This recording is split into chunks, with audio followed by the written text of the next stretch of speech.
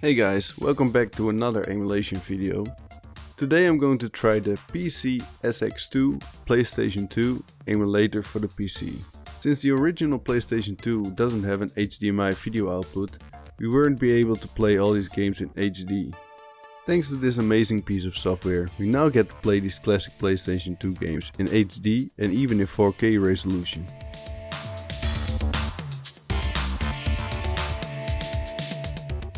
Here you can see some gameplay recorded from the original PlayStation 2 video output. And this is the same game running using the PC SX2 emulator. You can download and install the emulator from their official website. You also need a PlayStation 2 BIOS file, which you can grab from your original console using the BIOS dump tool. Or you can use Google to find and download the PlayStation 2 BIOS file.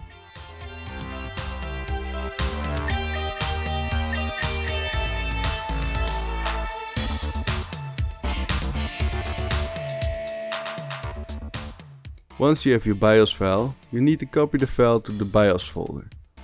You can find the default BIOS folder under My Documents. In case you've downloaded the BIOS file, you need to unzip it in the BIOS folder. You can use a free tool such as WinRAR to extract the files. Once again, you can find the default BIOS folder under My Documents.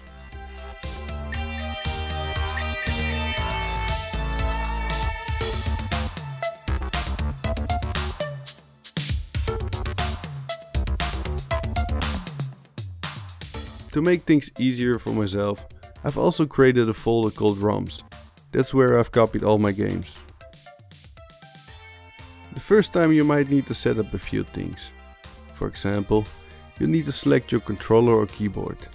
And you also can change the controls to whatever you like. You also want to have a look at your video settings. For example, I needed to select my video card manually. Here you can also select the resolution. If you have a bit of an older PC, you might want to set the resolution a bit lower in order to play these games at full speed. Okay, it's time to show you guys some test videos of recorded gameplay.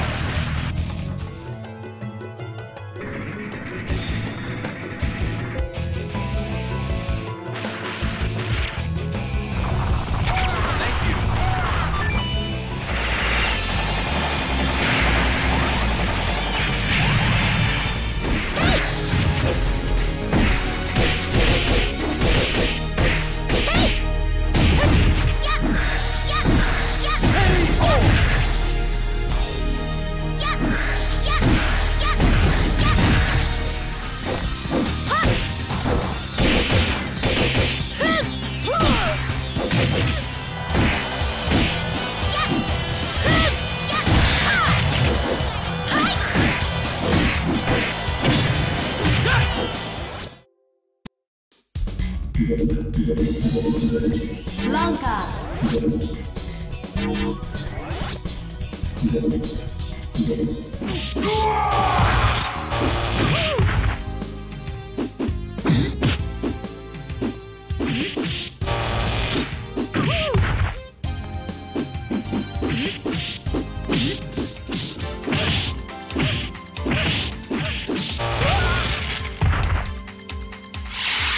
Hey!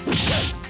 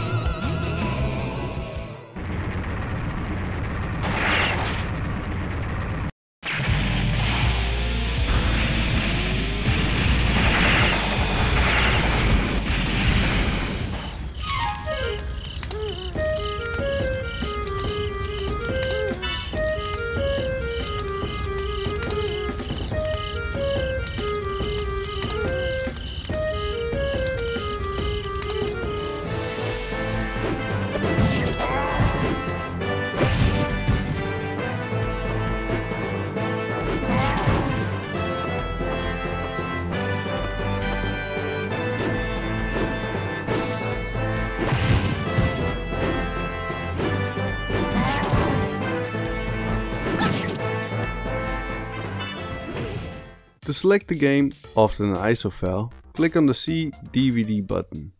Make sure ISO is selected and then browse and select your game.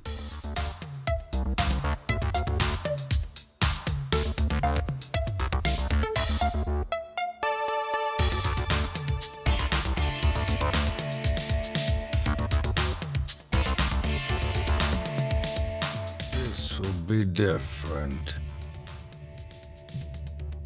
We take this at your pace. Again, if your game isn't running at 50 or 60 frames per second, which means it isn't running at full speed, you might want to go back to the video settings and lower your resolution. This can even be done while playing a game, without leaving the game.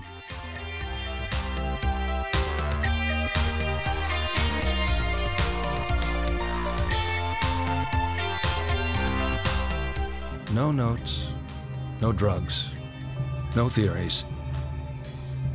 We go back to the start. I also wanted to test some original PlayStation 2 discs.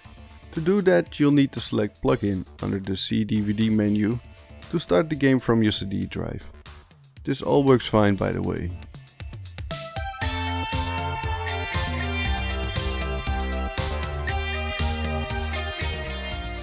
Since the original PlayStation 2 was backwards compatible with the first PlayStation, I also tried to run a PlayStation 1 game. However, that wasn't supported. If you are a PlayStation fan and you have a decent computer, I can really recommend trying the PC SX2 emulator. Simply because playing these old classic PlayStation 2 games in high definition is a really awesome experience.